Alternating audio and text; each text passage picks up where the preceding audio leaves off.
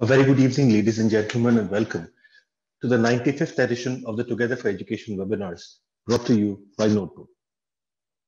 More than a year ago, in April 2020, when this pandemic had just hit our country, schools had shut down, Together for Education was set up with the motive of having our educators form a closer community and have them better used to these new learning methods that were coming up.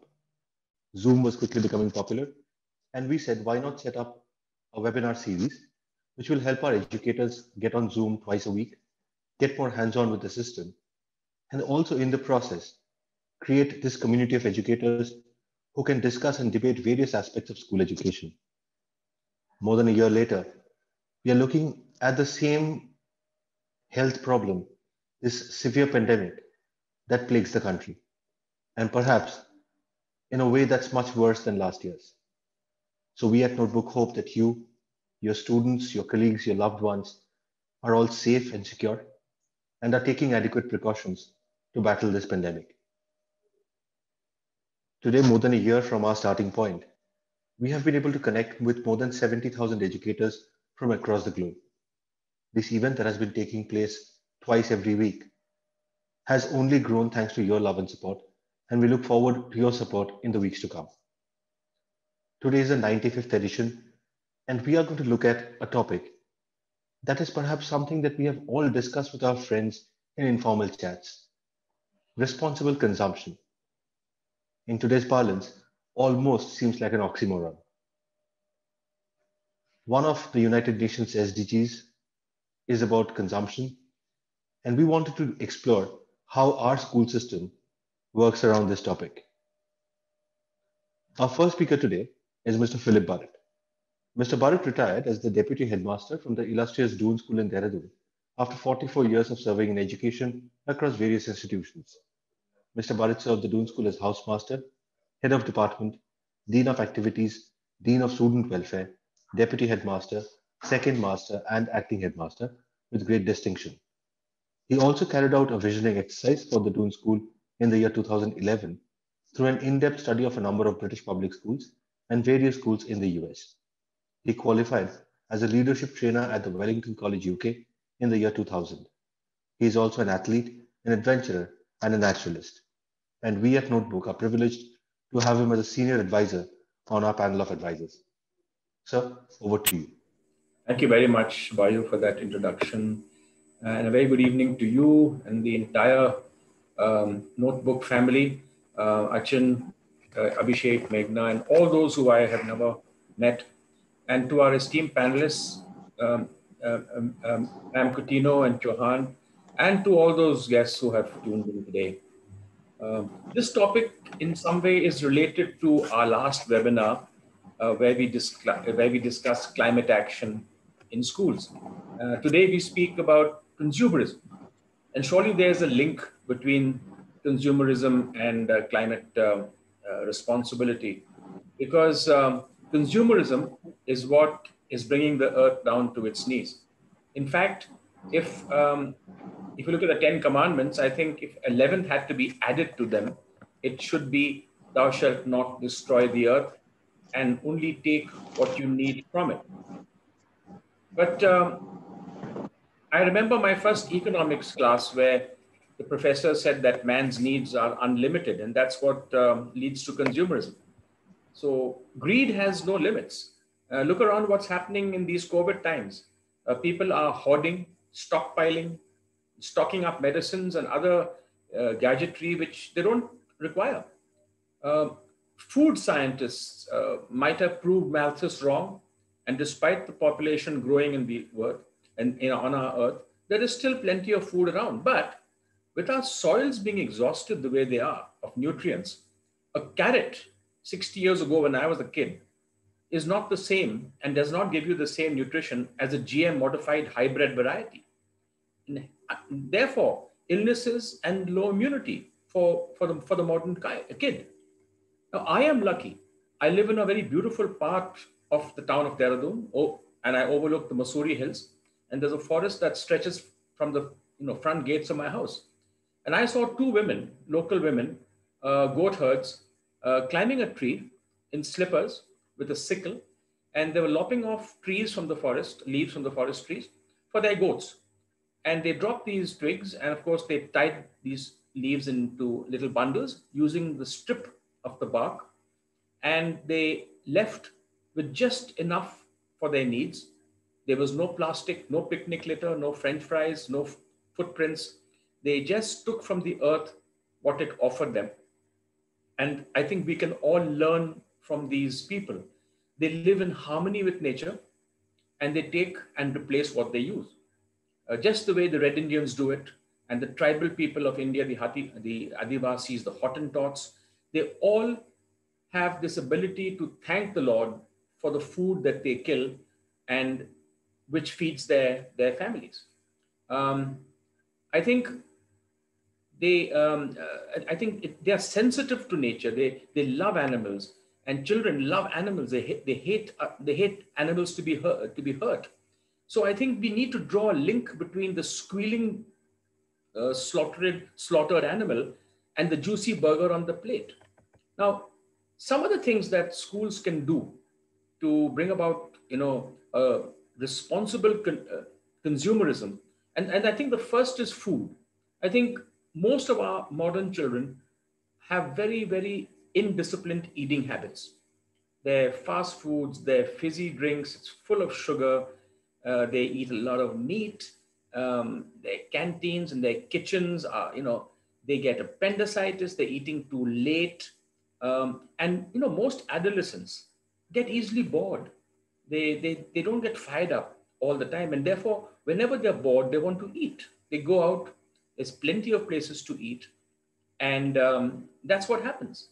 And it's us adults, teachers, who have to bring in food experts and nutritionists into our school canteen, into our homes, and teach these children that there is something that titillates your palate and there's something that really nourishes the body. And I think they have to make the difference between this. Um, I have seen a lot of overconsumption with food and I think disciplined eating is important.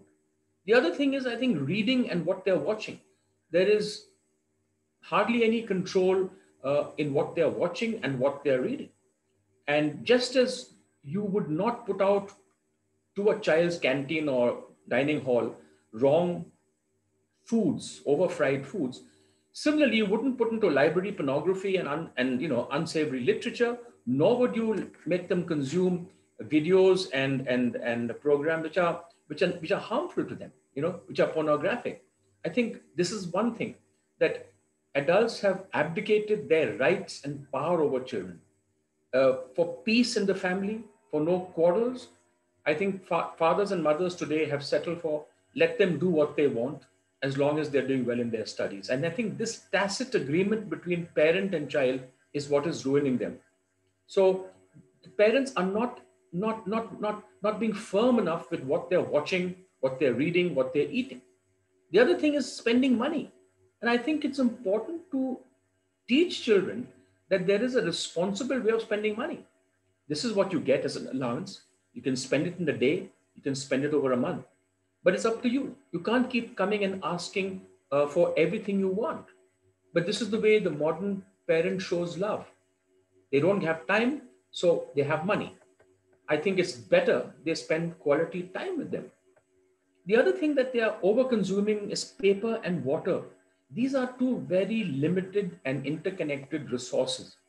If you look at the poor and the marginalized and the tribal communities, they don't spend, they don't use paper in any, any form. But you take an affluent home, there's wrapping paper, there's cooking paper, there's newspapers, there's a host of magazines, there is shopping bags, gift wrapper paper, there's toilet paper, tissue paper, and so many more things. A lot of books and water.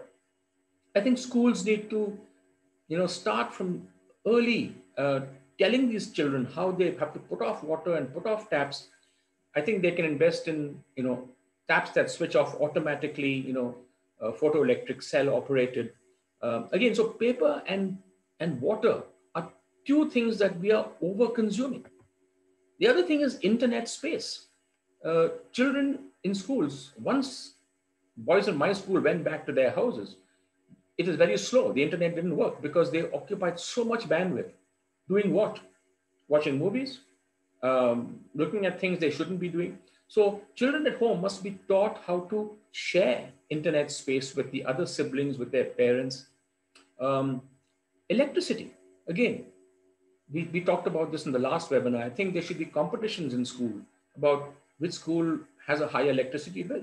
I think parents must make children uh, conscious of what they're paying for their electricity. ACs and heaters are on throughout the day. Petrol is another, you know, kids want to be driven to every place. They can't walk. Uh, they don't want carpools. Uh, it's a status symbol to have a car and a chauffeur. And so they, they spend petrol thinking that, um, you know, it's one of those infinite resources. Whereas it's not. India imports almost 80% of its petrol needs. And, and these modern kids want to be driven to every place. How to spend time? I think another responsible learning for children is time. Time is again, uh, you know, you got to spend and break a day into so many, um, so many segments. Uh, you can't oversleep. You can't overread or overstudy. I think it's important for us to advise children and teach children that you have to consume time responsibly. Look at a child's cupboard and clothes. Is, does he need all those clothes, all those shoes? Uh, who is telling them what to buy and how much to buy? Is that a form of love? Uh, look at their rooms. They're cluttered with, with toys and paraphernalia and bric-a-brac. Can't they give it away to children uh, who are less fortunate, who, who need second-hand or hand-me-down things? Uh, Look at their rooms, it's full of clutter. Where is the responsible consumerism there? Now, people say that man will destroy the earth. I don't think that's true. The earth can never be destroyed. Even concrete will regenerate after 10,000 years. What's going to happen is man will destroy man. The earth will regenerate, trees will grow, and it will become the, the great world that we know before man came. It's not man will not destroy the earth uh, he will destroy himself. Children learn from us, they imitate us adults. Often we want to have more because having more uh, is therefore consuming more is a status symbol of our success, of where we reached. And life in a consumer society where money needs to be circulated and the human propensity to want more, this, this insatiable drive comes from us, and the children are seeing what we are doing. As a teacher in an expensive school that I finished in, egalitarianism was one of the pillars that our school stood on. And yet, it was such an uphill task for us to, to make sure that children didn't flaunt their, their, their wealth. But they showed it in so many subtle ways the watches they wore, the rackets they used, the colognes they splashed on, the pens. I mean, a Mont Blanc and a, and a, and a throwaway Camlin, big difference. They even had designer spectacles, um, the, spectacle frames. Um, so there's so many ways in which we consume more than we need just to flaunt our status and ego and our symbols. Who's giving them the money for this? How are they getting all these fancy gadgets? And Warren Buffett once said that if we are going to spend money on what we don't need today, we will have to sell what we need tomorrow as we grow old and grow up, I think we need to realize that all life is a casting off, that we can live with much less than we are than we uh, need. And uh, you know, if you look at Schumacher's great book, small is beautiful. Small is beautiful, and you're rich in proportion to the things that you can do without. So, how can we instill a sense of simplicity, frugality, into our young generation? I would say reward the desired behavior. When children are simple and frugal and don't waste and don't clamor for more, I think that behavior should be rewarded.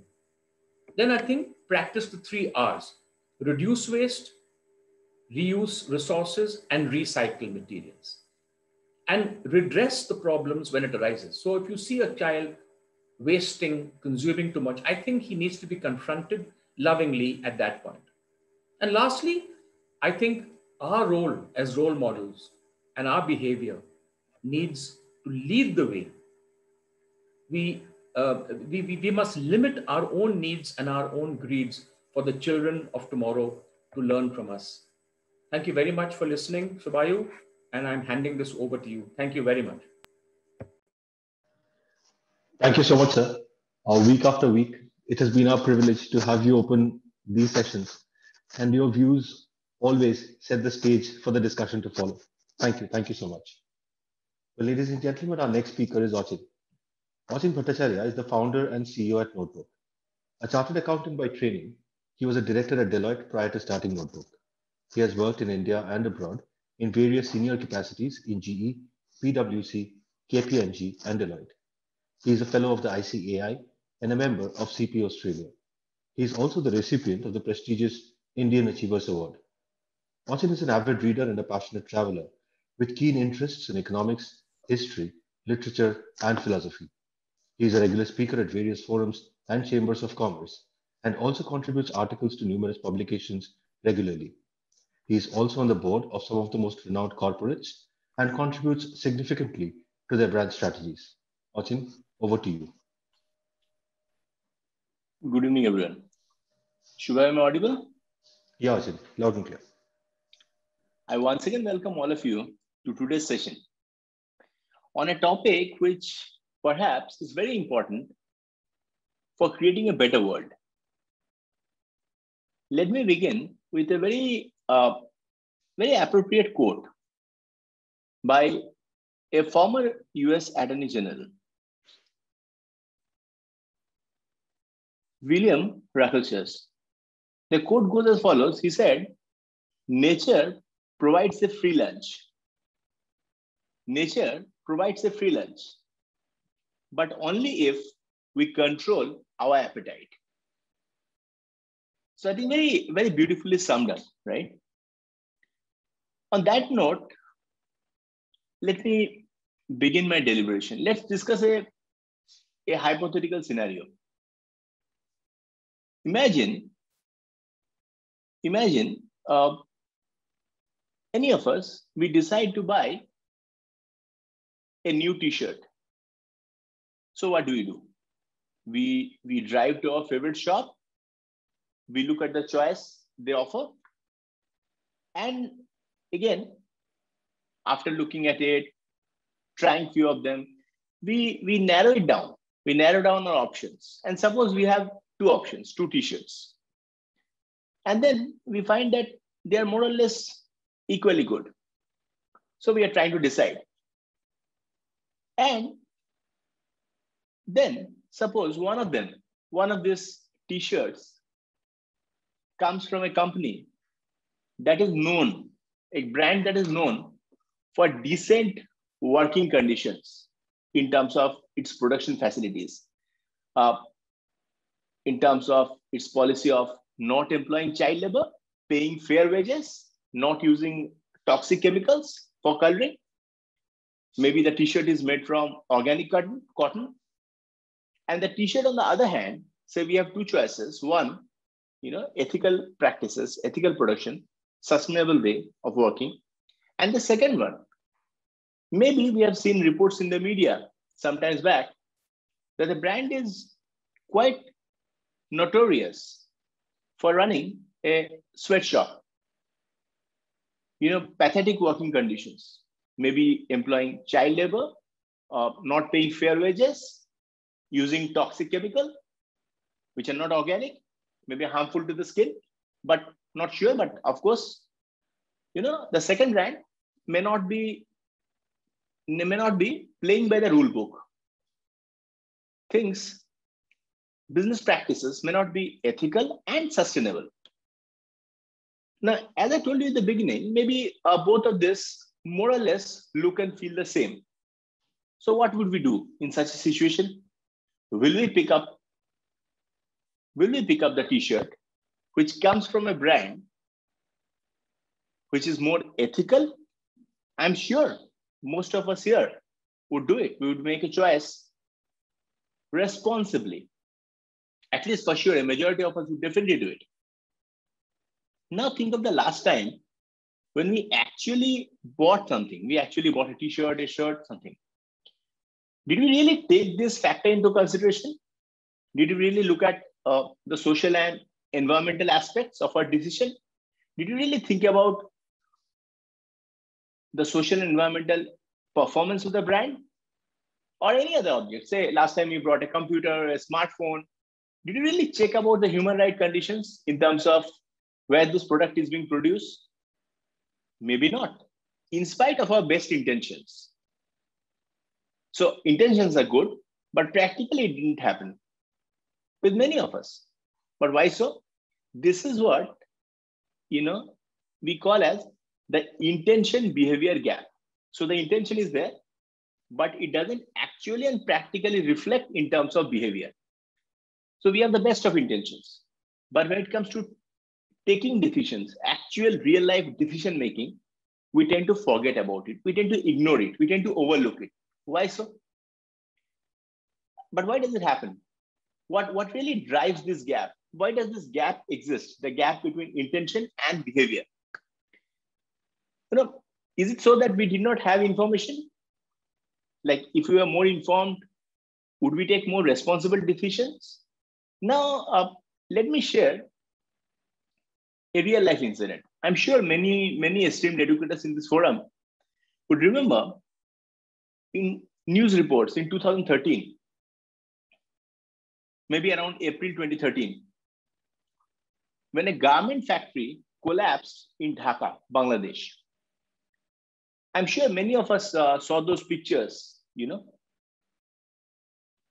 And at that point of time, various news reports uh, that came in print and audiovisual media, names of uh, some of the famous brands, brands that we find when, whenever we walk into any, any mall or a departmental store, we see these brands in shelf. So many of these brands were being produced there. Maybe, maybe, without knowing, maybe before this particular incident came to the limelight, many of us many of us had actually had actually purchased from these brands and maybe afterwards as well. Let me tell you another story. I'm sure many of us would, would read here the story about foxconn. Yes you're completely right. Foxconn the brand which produces smartphones computers. In fact they produce smartphones for uh, some of the biggest brands in the world, including Apple and Samsung. We, we, we read about their factory. Workers actually jumping from the roof of the factory. Why so? Because of desperation, because of pathetic working conditions. We read about it. We exactly know how, how this works. Now, various incidents like this. We have heard about stories about child labor. We have heard about stories about slave labor. Say industries like chocolate, sugar, gold, you name it. You name it, and we all know it exists. We all know uh, many kind of unethical practices in different industries. For instance, we might be the last generation eating tuna fish we cannot claim that we have not heard about these things you know if you know honestly speaking that will be too unbelievable a claim so hence information is not the problem. Information is there. We need to accept it. But what happens is all of us uh, we, we tend to blame someone and somewhere else. Instead of trying to trying to hold a mirror and trying to understand whether our decision is rational enough or not. So at times we blame the company, we blame the corporate, we say it is their production problem. So we want them to change their behavior, which is true, of course, of course, they have responsibility, undoubtedly. But the fact is, if you look at our insatiable urge, insatiable urge to consume more and more at an increasingly higher speed, and at ever low prices. So definitely we are part of the problem. We cannot, we cannot deny, we cannot ignore. And it is not just about improving the current working conditions, current production conditions. It is also about changing the culture of consumption. So you know, this gap between intention and behavior that I was discussing about. Most of the time when we make decisions as consumers, we, we, we do it automatically, right? It's like an autopilot mode. We don't think so much. It's routine. You know, and, and that happens to all of us. Habit can be at times much stronger than reason. So if we really want to make our consumption more sustainable, we have to we have to reprogram our habits. So for instance, you must imagine, like say for instance, habit is like an iceberg. When you see on the surface, what you see on the surface, what you see on the surface is the behavior. What you cannot see under the water are the values and beliefs that actually drive that behavior. So we see the behavior, but what lies underneath are the values and belief, far more important. So if you want to change someone's habit, undoubtedly, instead of changing the habit, we need to, you know, instead of changing the behavior, we need to target the values. For instance, uh, we all know that it's illegal to smoke in public places. So if you tell someone not to smoke, you directly target the behavior. But what about values and belief? For instance, for instance, uh, if you look at if you look at our own rich past traditions as a civilization, or the old ancient Greek and Roman societies, who were guided by strong mythologies. You know, when we discuss about mythologies, great storytelling cultures and the storytelling cultures helped in inculcating values which influenced behaviors. For instance, for instance, we were discussing about uh, trying to st stop smoking. Now look at what the tobacco industry does in terms of their advertisement campaign. You know, they, they, they, they create a story. They create a story. For instance, for teenagers, they create a story of being cool, uh, trying to trying to grow up, being an adult. That's exactly what the teenagers want at times for women they might try to create a story of emancipation for for instance for for marginalized for poor people say for in a country like africa they will use the story of european prosperity like for instance you can the, the subtle messaging is you can reach it a little bit if you start smoking now imagine the power of these stories the problem of the sustainability movement, the problem of responsible consumption is that it has no stories to tell. Now, unless and until stories are powerful enough, how do we counter this? How do we really counter this? Because this is this is really important, right? We just can't believe, we just can't depend on technology. We just can't believe that uh, technology will make our production system more efficient, produce at more higher speed and lower cost. See, any technology at the end of the day is man-made and the person who is behind the technology, what are his beliefs? What are his values? That undoubtedly affects the technology, right? At the end of the day, what is it that the society wants? Any corporate is out there to serve the society. So at the end of the day, the society's values and beliefs, which will drive their behavior, is going to influence production mechanisms, is going to influence consumptions pattern around the world. Now, why do we buy stuff? Do we buy stuff because by buying something we want to be like someone else? Does it really increase our happiness? Now, these are, are really uh, important thing. Like for instance, we were discussing about a t-shirt. We were discussing about a t-shirt. So when we consume more, at times it gives us some kind of an instant gratification. But today, people are intelligent enough to understand that when we consume more, we can increase our happiness only to a certain degree. Then it falls down. Then it is bound to fall down. For instance, if someone smokes beyond a point, he or she may unfortunately, unfortunately, get cancer. Fast food, junk food, too much of chocolates, unfortunately, may end up with diabetes. Buying stuff all the time, at times, people may feel empty, drained, lead to depression. So as far as society is concerned, all these consumption decisions aggregate in large scale environmental problems. The last day we were discussing forests disappearing, ice melting, in few decades, cities underwater, leading to migration, more poverty. We discussed, right? So, so what I was trying to tell you is that uh, there are many small, small factors of, of, of, responsible consumption. Small, very small, as small as uh, when we leave our office or home, do we remember to uh, switch off the light? Very small, but very important. Very, very important. If you look at it from a collective standpoint as a society, really shows our values, our belief system, our responsibility. Now, uh, what I was telling you, which I think I think is really important. Now, I'll tell you a, a, different story. Like I was telling you about stories, that the need for stories to be more believable. Now I'll tell you a story, very believable. Might be a bit abstract, but let me tell you about this. Now, if we hear that in our neighborhood a new fast food restaurant is opening up, what do we do? Suppose, for instance, uh, even if we are not very fond of fast food, we may not go there, but honestly, we don't care.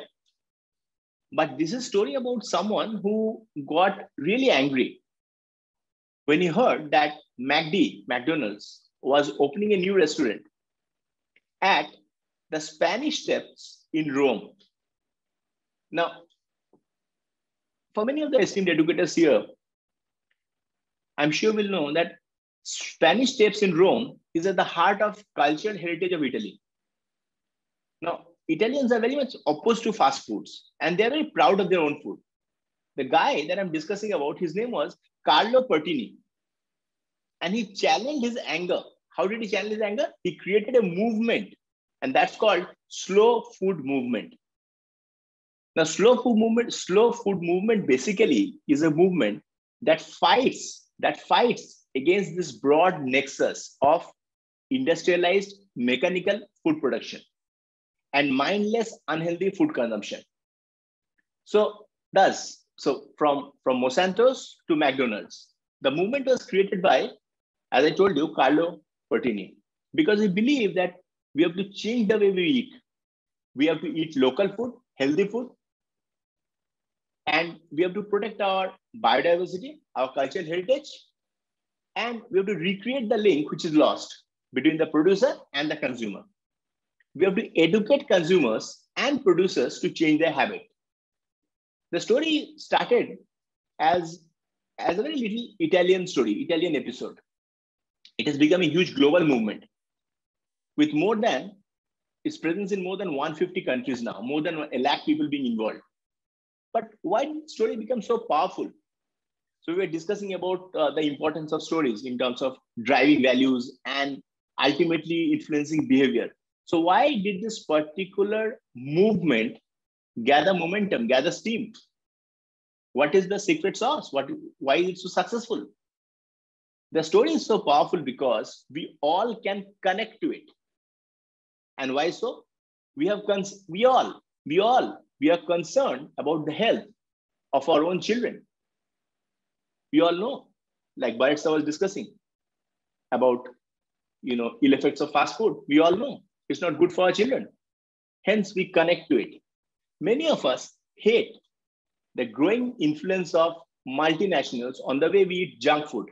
So we connect to it. Now, if you are someone who, who, who really wants to promote local traditions, you connect to it because we are discussing about something local, something traditional. If you're someone who wants to preserve biodiversity, you connect to it. If you want to, if you want to help you know, marginalized farmers who are not getting a proper price for their produce, for their hard work in your native place.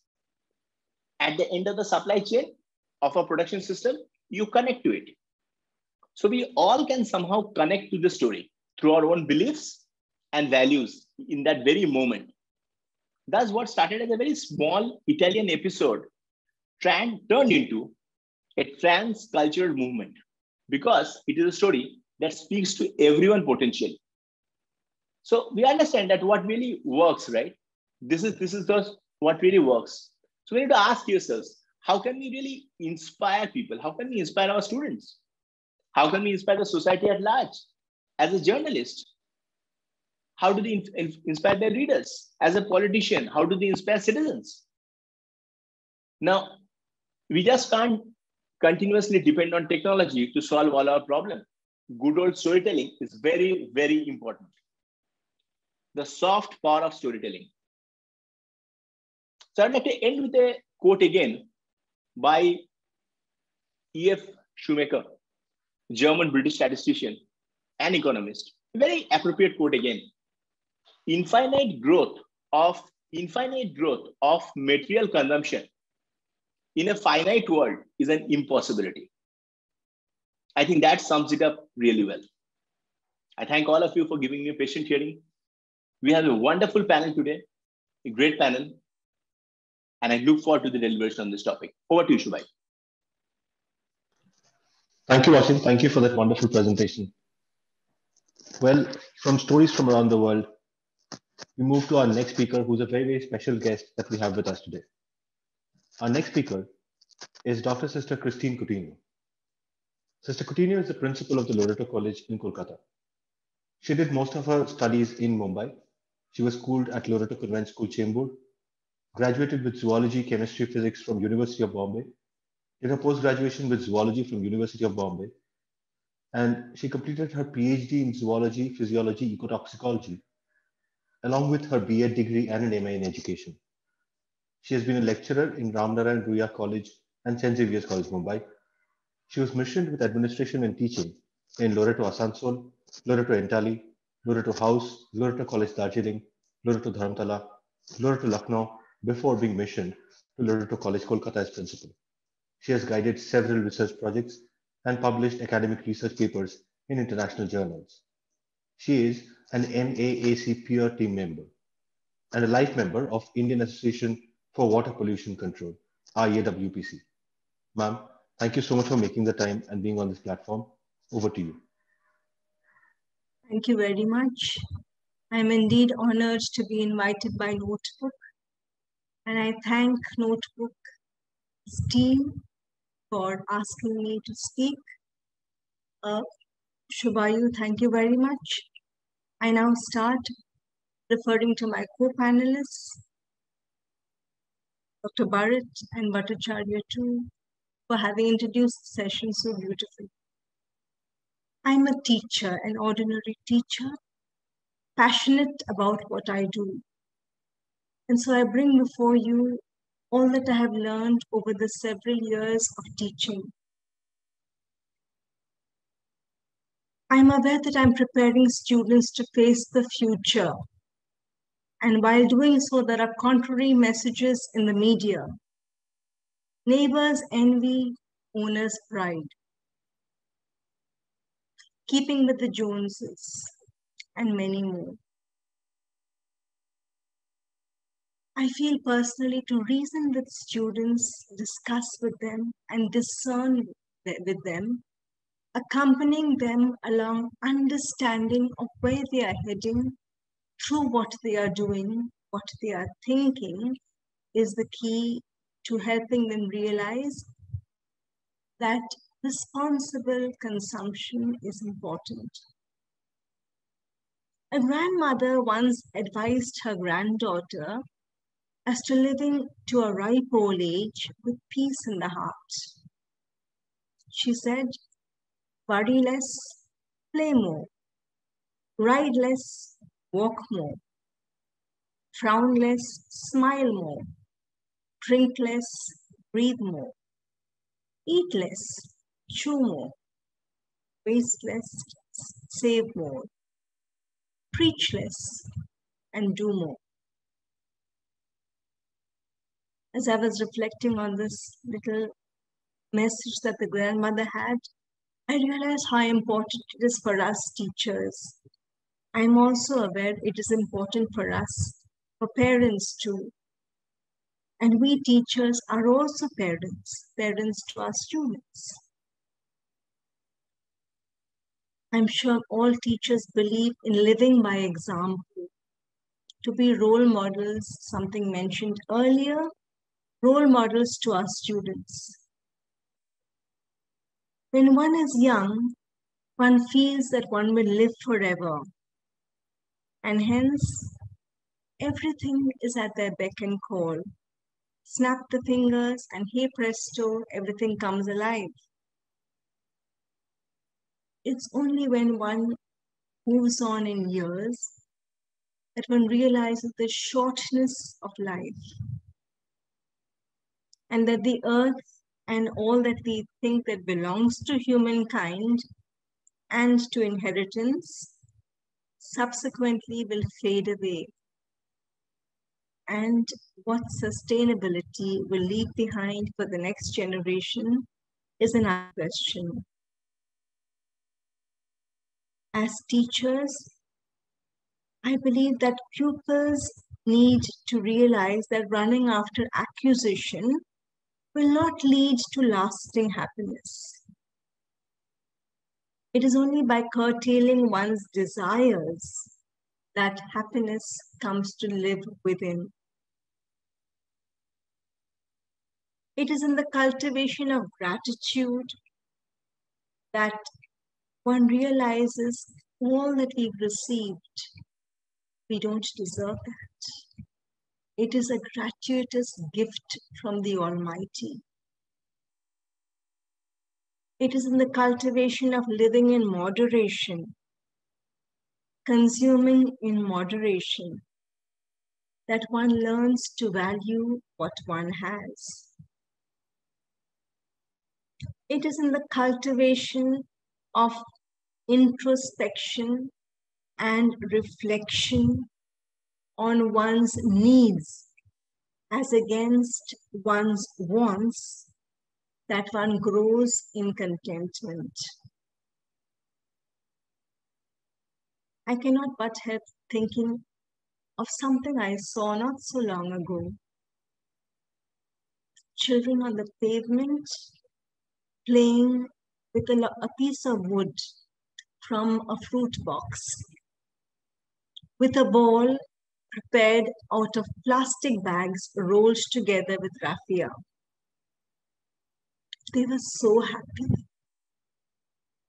It takes so little to be happy, to make children happy. It is in encountering the less privileged that one realizes that one can thank the Almighty for blessings small and big that we've received. Wasn't it Alexander Maclean who said, Whatever one does not have, one does not require. And maybe I can add in faith, providence provides at the right time. It may not be at the time we want, but at the right time.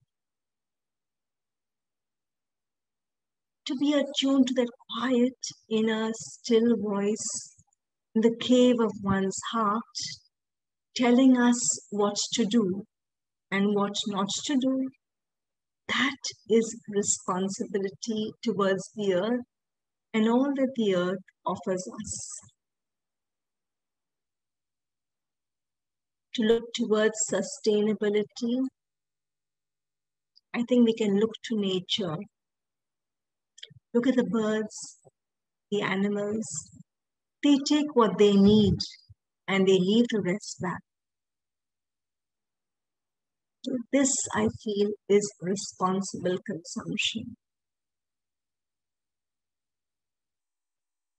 The same time, as parents, for us to appreciate our daughters, our sons' talents, innate gifts, will help them grow up in confidence of themselves, competing with themselves without looking at the other for competition. This brings deep inner seated uh, contentment. And it is this contentment, not complacency, contentment, that will take them far. On the one hand, while parents appreciate their gifts and talents, the gifts and talents of their children, let them challenge them to better themselves. And when they do measure up to the challenge, appreciation goes a long way in helping children go further. Another point I feel is moving with the times. Talking of technology, to use as much technology as one needs, as much of bandwidth as my uh, the previous speaker said, as one needs, and leave the rest for the others, other siblings, the other members of the family, is important. And again, to do things congruous with the times, to talk less and to do more. This, when you, rea- when you realize this, we realize our own responsibility in shaping our country, in nation building, and for a brighter, better tomorrow.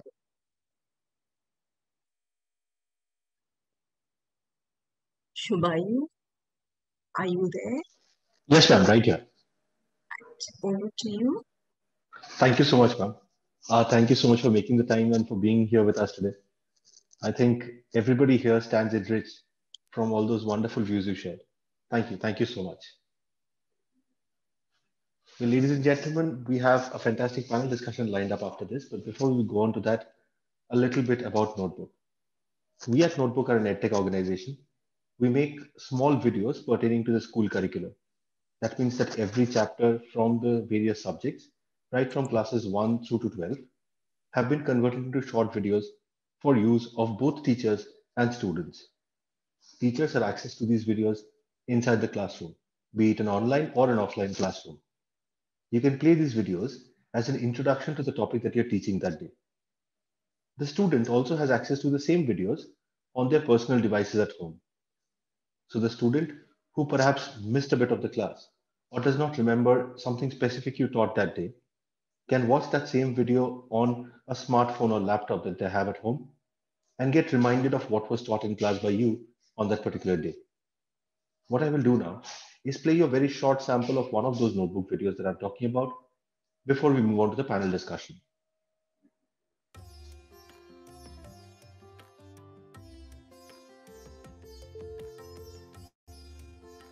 Hello students, welcome to Notebook. Have you heard the name Tansen before? Did you know he is considered one of the greatest musicians produced by our country? He was also considered one of the nine jewels of King Akbar's court. In Behat near Gwalior lived Mukandan Misra and his wife. Their only child, Tansen, was a very naughty boy. He would run and play in the forest. Soon, he learned how to imitate the calls of birds and animals. One day, the famous singer Swami Haridas was passing through the forest with his disciples or students. They decided to take rest in a shady grove. Tansen saw the strangers in the forest. He decided to scare them. Hiding behind a tree, Tansen imitated the roar of a tiger. The disciples scattered in fear. Swami Haridas told them that tigers were not always dangerous and decided to look for the tiger. Soon they realized that there were no tigers. The naughty Tansen was found hiding behind a tree. When he was brought before Haridas, he did not punish Tansen. Instead, Swami Haridas went to Tansen's father. He told Mukandan Mishra that his son, although naughty, was very talented. Swami Haridas offered to make Tansen a singer. From the age of 10, Tansen lived with Swami Haridas. He learned music for 11 years and became a wonderful singer. Sadly, however, Tansen's parents soon died. Mukandan Misra was greatly devoted to Muhammad Ghaus, a holy man who lived in Gwalior. It was Mukandan Misra's dying wish that his son Tansen would visit Muhammad Ghaus. Tansen began living with Muhammad Ghaus. Tansen would often visit the court of Rani Mrignani, a talented musician herself. One of the ladies of Rani Mrignani's court, Hussaini, married Tansen. She too became a disciple of Haridas. Tansen and Hussaini had five children, who were all very musically gifted. Tansen's fame grew and he went on to perform in Akbar's court. Well, ladies and gentlemen, that was one of the 10,000 plus videos that you would find on www.notebook.school should you choose to use that for your students. With that done, let me now have the pleasure and privilege of introducing today's panel to you. We have with us Dr. Sunita Singh, who is the principal at DPS Balotra in Rajasthan. Dr. Singh is eminent and knowledgeable educator with a profound experience of more than two decades and possesses a rich experience of teaching and administration in many reputed public schools and organizations across India. She is highly skilled and a student-focused educational leader. She is also a poet and author, and two books written by her are in the pipeline. Dr. Singh is very active as a keynote speaker on many current issues, especially NEP 2020.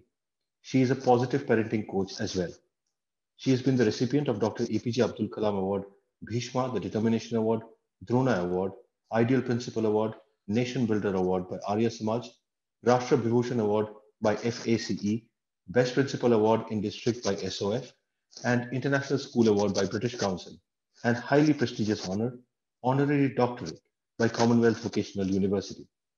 She is the Center Superintendent and observer for many reputed exams conducted by CBSE.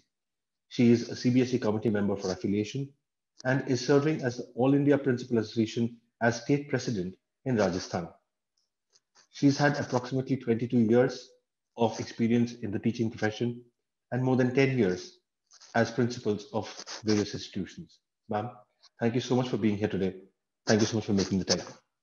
We also have with us Varsha Chauhan, who holds a BSc and MA in English Literature, a B.Ed and LLB, and is currently pursuing her PhD in education. See, she is a certified global career counselor from UCLA, the University of California in Los Angeles. She also holds a Master of School Administration from Lucknow University. She started working as a PRT with Red Rose School in Bhopal, moved on to become a teacher with the Royal Senior Secondary School in Jabalpur, where she then worked as the principal and currently is working as the director of the same Royal Senior Secondary School in Jabalpur. She received letters of appreciation from the Education Minister, Mrs. Smriti Irani, for excelling in Class 12 results.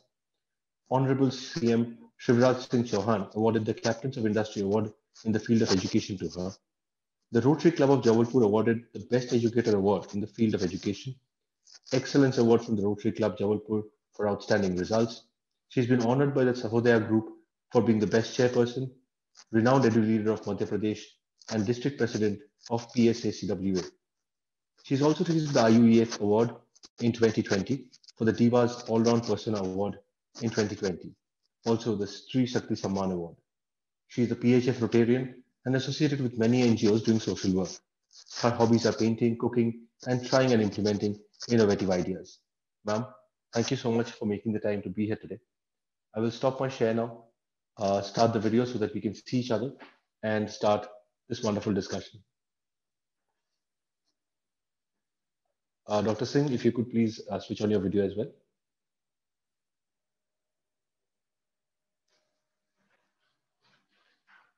Dr. I Singh, think she's having some net issues.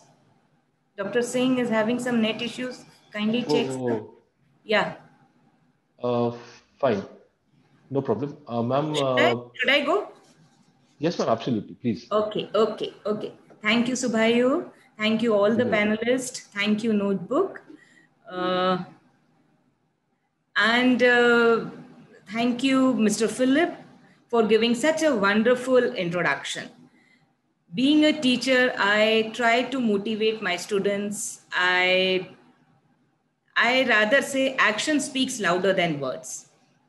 Being a teacher, being a principal, being a director of a schools, what you do actually, your children, they always uh, want to lead you so here in the schools, we have to implement many, many of the things.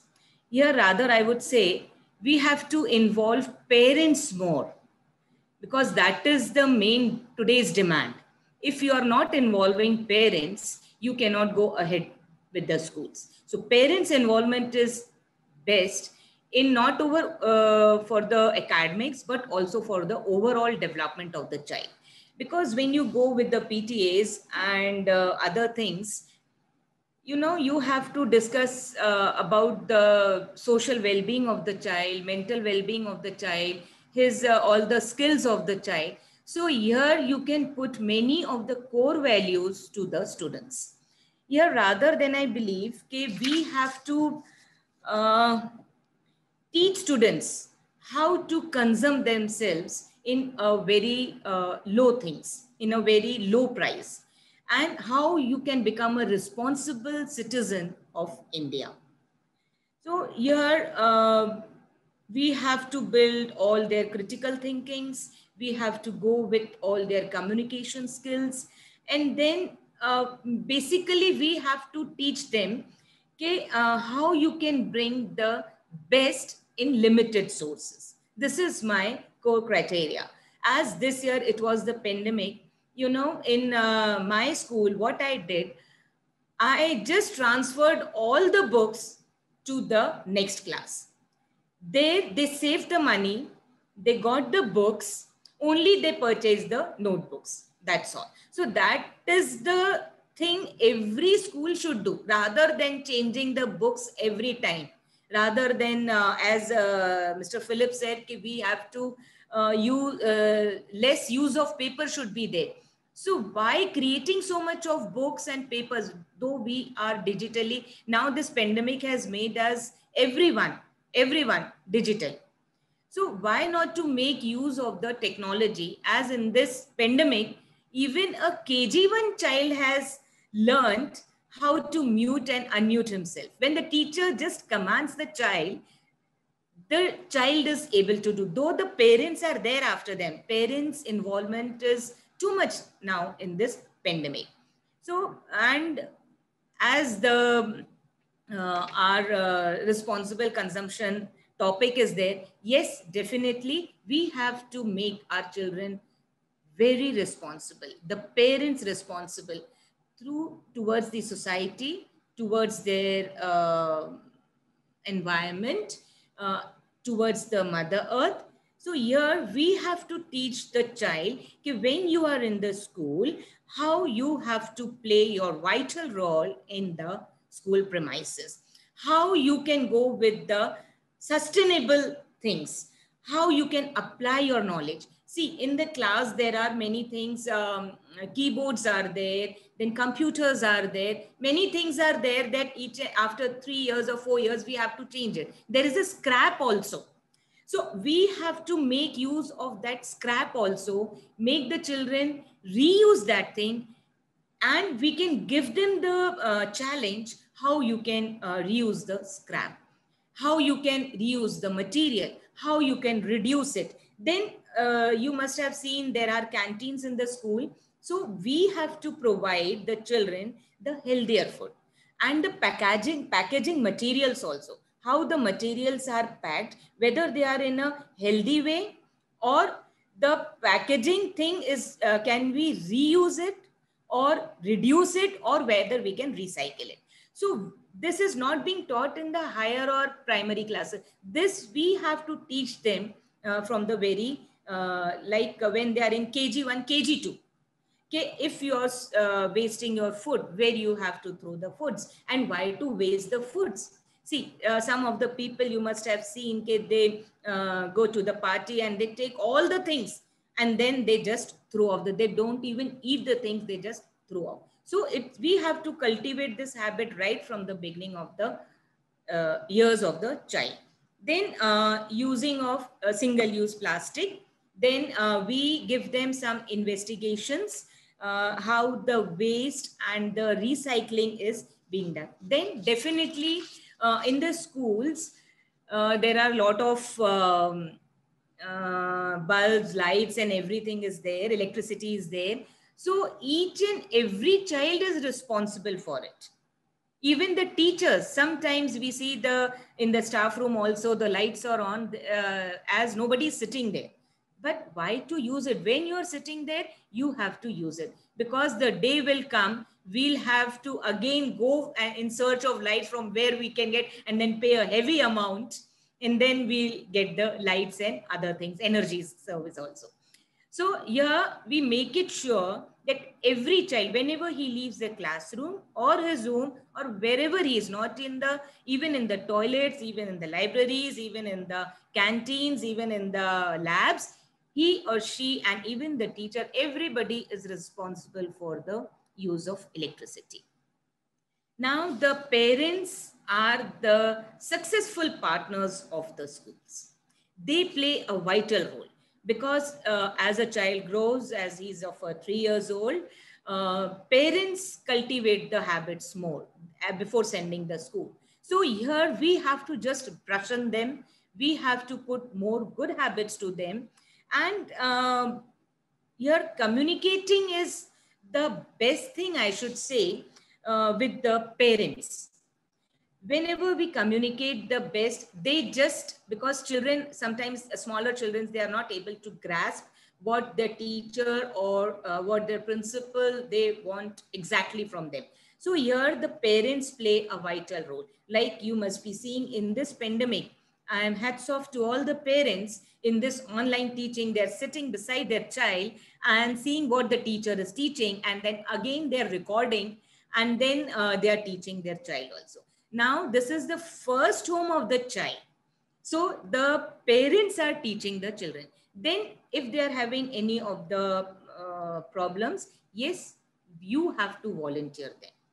There volunteers in the school or classrooms, we involve parents also as a volunteers. Many of the things uh, like when we go with the cultural programs or exhibitions or any any any type of programs you have to volunteer them not only at home also but you can make them volunteers in the schools also then uh, we have to make the children uh, very uh, positive minded in taking a very good decision and then collaborating with the community if if in your community anyone is not uh, proper or throwing waste here and there the children we make the children that you make a group, go to that house and just teach them what is good and what is bad.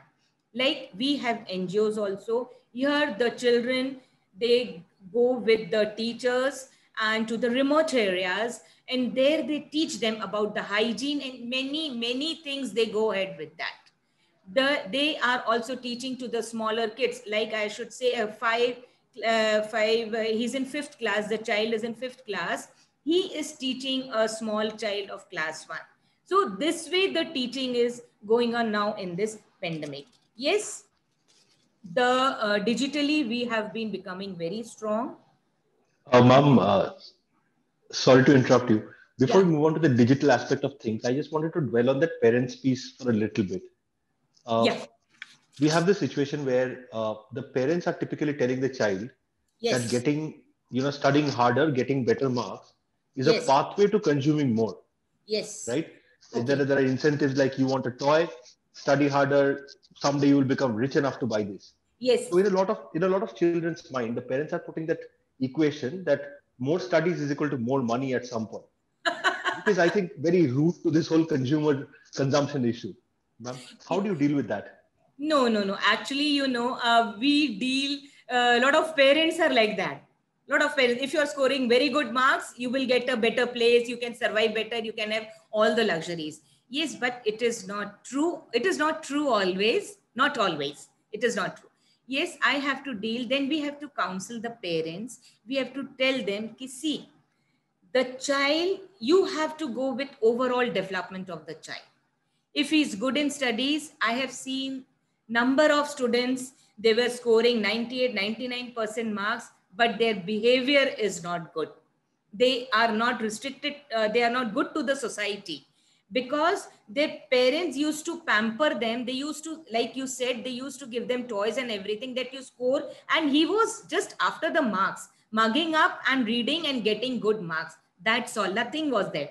So now you see uh, through this NEP, we have come through the NEP and uh, now the board has taken the decision there there there will not be any uh, board exams for class 10 now how you will uh, take out their percentage, how you will do the calculation part. It's a big challenge. Now the parents came, ma'am, the uh, children did not give the board exams or they did not appear to the NET issues because NET issues is everywhere now. Yeah, the parents, they are having a lot of problems with this NET issues. So how, what will be his or her percentage now? How uh, the child, we know we know when the child comes to the school he's uh, with us for uh, since nine years class 1 to 9th i should say and then 10th uh, pursuing 10th and then going for 11th and we know better so here we tell the children if the child is scoring 50% also maybe in 11th 12th i don't say that any time the changes can come the child can do better i have seen the children who was at a 60 who was scoring only 55 and 60%. Yes, because his behavior was good. He was accustomed to the society. He had an all-round development. He used to go with the newspaper. He was not after the marks, but uh, developing himself, uh, getting the knowledge and everything. He is a very good doctor or an engineer or an IIT. Even the 65% can go with the IIT and they are scoring millions dollars there in the UK and America. So for that, I am against K, you are scoring good marks, you'll be getting a better things. No. The you should be a very good human being, first of all.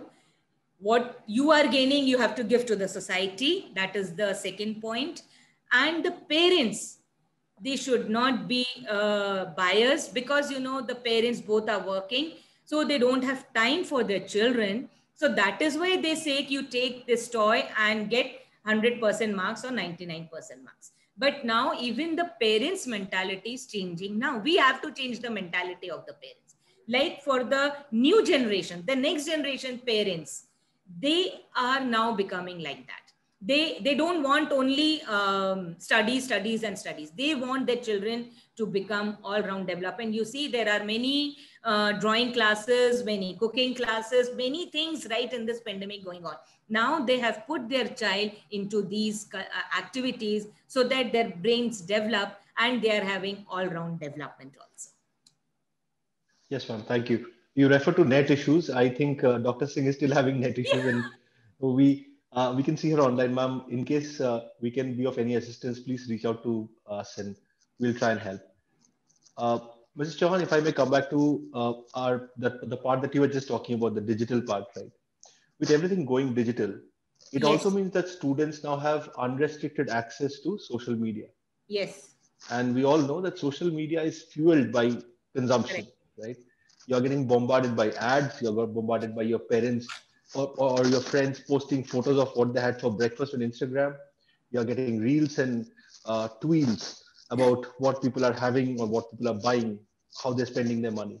Yes. How do you teach the child to be a responsible consumer in such an environment? Thank you, Mr. Roy. You know, technology, it has become an integral part of our life. Without technology, we are nothing. So here, uh, before we started this technology, uh, before the pandemic started, and even we were there, okay, how the uh, teaching learning process will go on, we came to zoom google meet every everything. Then we finally took the meeting of all the parents. Then we first guided them. Every month we have to guide the parents i should say. Every month. Even the children. Because you know uh, sitting at home the parents they have to keep an eye on their child. Because everything is open the children they take the mobile and tell the parents we are watching what ma'am has sent the video. And though they are with the internet watching other um, sites they are going to other sites. Yes. So we tell the students also even the teachers how you can control all these things. Like uh, there are many uh, safety measures also which uh, parents can make use of it and even the teachers they are making use of it and uh, you know previously what uh, it, it, used to happen in the zoom also the children they used to send some messages and then we could not even uh, could praise them in the zoom but when we did the recording and other use of technology, we started doing that. I hope in Jabalpur, all the schools have implemented that. I don't know about other cities. I hope, but all the schools, uh, they are going with the uh, technology and everything. And then they are making children aware of it. And even the parents, how they uh, have to take care of their child sitting at home and what uh, limited period they have to give to the child. I think uh, ma'am is having some net issue. She has uh, logged out. Yes, I think so, ma'am. Mm. Ma'am, I understand that. My my concern here is that uh, we have we have two very conflicting notions, right? On one side, you are measuring success by yes. money, right? By how much can you buy, your purchasing power, your ability to get things that will perhaps make you feel happy, because we have kind of equated happiness to having more. On the other side, we are telling them in the education system that listen, it's more more important to grow holistically, right? And this can be tell, told to the parents and the students 10 times over. But the fact is, they live in a world where TV ads, uh, radio ads, every kind of advertising is telling you that, you know, get a little more for 25% less. Buy one and get one free your phone now has 4 GB more of data. Your phone now has three yes. hours more of battery. That's more and less. How do you bring students out of that mindset? You know, it is very difficult. Uh, this time is going on uh, to teach the students. And, you know, even the parents are there in the thing. Not only the students. I should say uh, many parents are also involved in it. Uh, I should say in the school scenario also where there is a less fees, the parents are going there they don't see the content or other things uh, they, and then they are where the uh, fees is higher and some parents are moving that side so that it's getting it is only a, you know uh, mentality of the parents you cannot change that what is your thinking you cannot change the thinking of a parent or a child what he wants we can only suggest them what is good what is bad that's all Nothing more than that. We can just guide them. Well, ma'am, for the sake of the students and the overall the planet, I sincerely hope that parents will wake up and take notice. I parents can see Dr. Singh. Yeah, yeah. I can see that Dr. Singh had joined back, and now I think I think her her network is really uh, playing funny today. Ma'am, thank you so much for your views. Thank I think you. Thank you. Uh, everybody in the audience has hung on to every word that you said. Achin, I think uh, you yeah. will have quite a bit to thank for. We've had such fantastic sessions today. Yeah, she's there. I think Dr. Singh has joined back. Uh, Dr. Singh, if you can hear me and if you can uh, join in.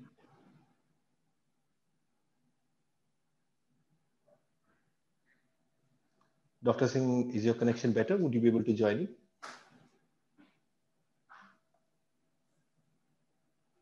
I think we are out of luck when it comes to ma'am's connection today. Achin, so I will leave you to do the yeah, official thank thanking. you, Mr. Achin. Thank you, Philip. Thank you, Roy. Thank you so much, ma'am. It's been a privilege. Thank you. Achin, over to you. So I think really a great session we had. Some uh, excellent takeaways for our esteemed audience. But sir, uh, thank you as always for giving us a great start and some uh, some really wonderful examples, real life examples. And uh, yes, I completely um, agree with you uh, in terms of uh, in terms of the menace caused by fast food, eating habits changing, etc. Indeed, these are these are real life problems that we, we really deal with. So I think some great examples, sir. Uh, thank you so much. Uh, Christine, ma'am, again, uh, I think very well explained. Some some great points you brought forward, including um, the examples of animals and birds. Really wonderful example indeed they really take only as much as they need and leave the rest couldn't couldn't be a better example than that and i agree with you completely uh, on with your views when you say that uh, containment appreciation is really important and using everything responsibly including technology and bandwidth as Bharat's also mentioned. And yes talking less and doing more. I guess that is very very important. Varsha ma'am, uh, thank you so much for being here and uh, for enlightening all of us with your views. Uh, I really liked, uh, you know, your, your, your practice of transferring books to the next class. And really wonderful, wonderful. Uh, considering the fact that uh, it's, it's also about saving trees, responsible consumption, and a great culture. You know, great 80 example. lakhs, 80 lakhs bachat hui hai, 80 lakhs. Wonderful, wonderful. And also, you know, uh, the kind of message it delivers, the kind of values you are able to inculcate in your children, in students, you know, I'm sure that goes a long way. It's, it's a lifelong learning, you know, because always seeing is believing you know telling them something and they themselves participating in, in something you know to kind of bring in their books for their next class or they themselves using books from their seniors. That's something that this memory they're going to carry for the rest of their lives. Wonderful wonderful. So undoubtedly recycling reducing consumption and uh, also like for example power consumption as you very rightly mentioned small small things but very very very important for the planet and collaborating with community i think that's very important very very important and especially children taking the owners, forming groups, going and speaking to people. That has a lot of value, as we have also seen in case of traffic offenders, etc. In various cities, in various cities, we have seen uh, we have seen cops taking help of school children to go and ensure that people do obey traffic rules because that messaging is very powerful, very very powerful, right? So I think wonderful session we had, great takeaway for esteemed educators as well. I thank uh, all of you for your time during attendees. I understand that we are passing through uh, a difficult phase, undoubtedly, with this uh, second spike in second wave of uh, COVID-19, a very difficult time. Indeed, uh, my thoughts and prayers with each one of you. Please stay safe, stay at home, and my best wishes to all of you. Thank, Thank you. you. Take care. And good night. Good night, sir. Thank you.